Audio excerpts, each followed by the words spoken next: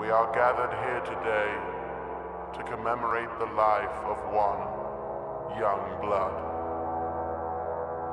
A beloved friend, a beloved brother, a beloved son. He just didn't give a fuck, really, till the politicians killed him. He spoke far too loud. Ashes to ashes, dust to dust. Amen.